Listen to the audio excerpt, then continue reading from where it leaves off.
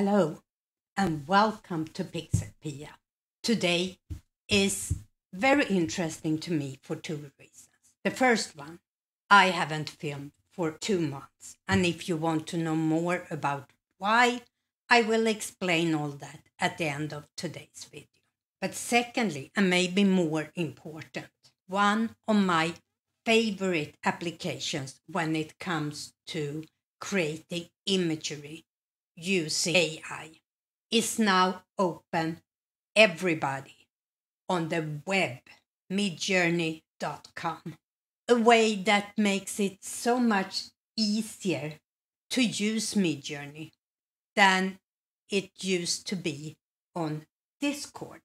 And I am so happy to be able to start a new series on basic tutorials using Midjourney on the web for all of you.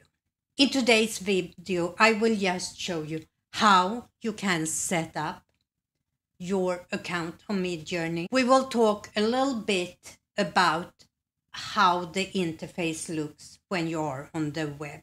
And we will maybe create one or two very basic images. But see this as an introduction to my new series of tutorials and my return to YouTube. So, with all that said, let's move over to my computer and take a look at how you can sign up to midjourney.com.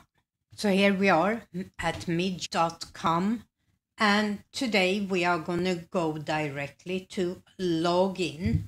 We can log in or sign up either with a Discord account if we have one or with Google. And today we're going to choose one of my Google accounts and choose my account and click continue. This is how it looks when you come in to Midjourney. As you can see here, I have approximately 10 free images. I don't know why it's down to 10 when I did it the first time with another account, I had 25 images. So that is something very temporarily. You get a couple of images that you can try this out. And if you hover over here, you see certain features use more or less. So it's not definitely 10 images as we can see, this is where you write your prompt and you can do some basic settings here, your image size, and you can do that either by choosing portrait, square, or landscape. But let's stick with square. All of this I will go in more detail when I start the new series with my tutorials. You can choose standard or raw you can choose your version of Midjourney and personalization, which I will talk more about later. Stylization. Midjourney have a certain aesthetics and you can choose how much or how little that will affect your images. Weirdness. Introduce quirky qualities to your generated image. And then we have variety. When you write one prompt, you get four images for each prompt you write. Variety between them depends on this number. And finally, we have speed, relaxed, fast, or turbo.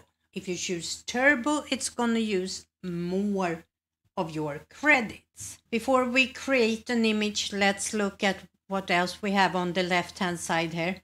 Create, it's where you go in and you can write your prompt, and the rest is the same. Organize is when you have started to create your images. You can create different folders. Chat is where midjourney.com connect to the Discord server and you can go in and follow certain groups there and see what they are talking about. We have the subscribe, yearly or monthly billing. I have on my paid account the basic plan with $10 a month. And then we have uh, down here where you can find all the most common questions. We have a help section we have an updates where you can see what the latest updates are. You can choose dark mode, light light or the system mode. And you can go into your account and manage your profile, subscription, your uploads, which I will come back to in my series.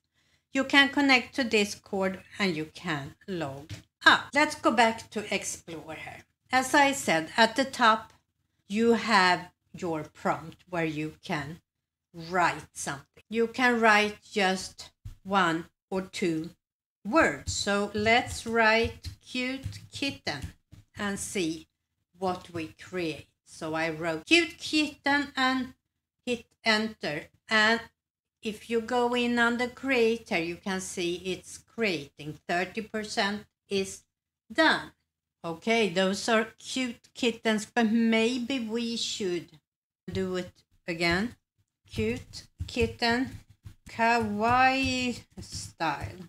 Let's add that and see what happens. We have to go back to create and now you see it's working on four more images. So now you see it's a totally different style. So there you have it. My favorite AI tools to create images is now open on the web for everybody. And you can for a short time try it for free. This is my introduction to my new series where I will do tutorials about how to use Midjourney on the website. I hope this will be an interesting learning experience both for me and you. So, if that is something you're interested in, make sure you keep your eyes open for my new series. And for those of you that are curious about why I've been gone, I will now explain that to you. For the rest of you, I say good night, goodbye, and I hope to see you back here soon. So, where have I been? Well, it started on the 3rd of July. I had a stom- little stomach pain, but didn't think too much about it. 4th of July came and my stomach pain was much worse. But it was 4th of July. The rest of my family had plans to go to a 4th of July party and watch the fireworks and do the barbecue thing. So I decided that, okay, I will just stay home, lay in bed, and hope that my stomach ache gets better.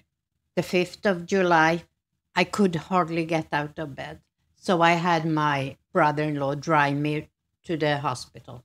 And of course, it was my appendix. And when I finally got there, it had burst and I had inflammation all in my stomach. And they had to do surgery and they cleaned it up. They had to take part of my colon. And then the recovery started. I spent about a week in the hospital. And I must say, you don't heal as quickly when you come up to my age as you did when you were younger.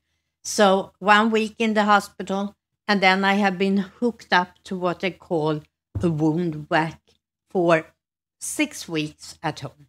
This week, I finally got the wound vac off. I still have an open wound on my stomach, and I still need to dress that every day, but I feel so much better. So that's what has been going on with me. I think I am ready to get back into filming and doing my research, but if I am a little irregular, pun intended, for a while here, you know why. And if you watched all the way to the end to hear about my misery, you are a true friend of the channel, and I hope to see you back soon. With that said, bye.